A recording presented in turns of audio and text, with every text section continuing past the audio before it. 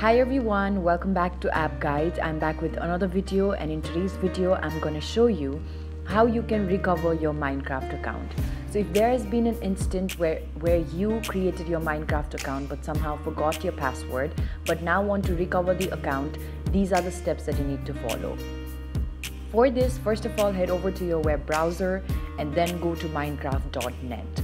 As you go to minecraft.net, you will land on an interface that looks like this and on the top right corner you can see an option that says login, tap on it.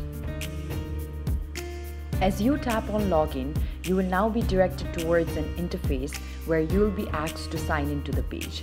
Now what you can do is you can tap on sign in with Microsoft which will lead you towards entering your email or your phone number or your Skype. So I'm just gonna enter my phone number over here because that is what I used in order to sign up and then tap on next. Now in this area where it says enter password, since I've forgotten my password, I'm just gonna tap on forgot password. And after forgot password, now because I'd like to get a security code to my phone, I'm just gonna tap on get code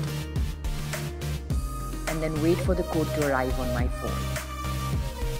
So once I receive the one-time password, I'm just going to type it in and then tap on next.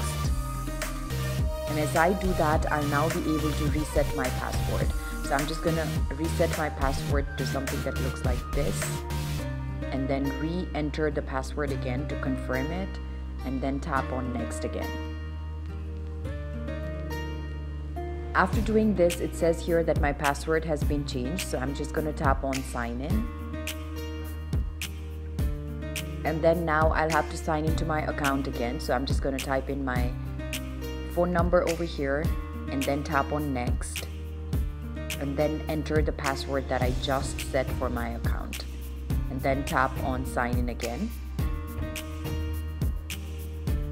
And now what you can do is you will be able to be directed towards a page where you are able to log into your Minecraft account which means that as soon as you get logged into your account, it simply means that your recovery has been successful.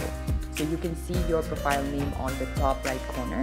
So this is basically how you can recover your Minecraft account. Although you had forgotten the password, your data and information will all be restored in this manner. So I hope this video has been helpful. If you like the video, do not forget to give it a thumbs up. Also share and subscribe to App Guide. Thank you for watching. I'll see you around next time.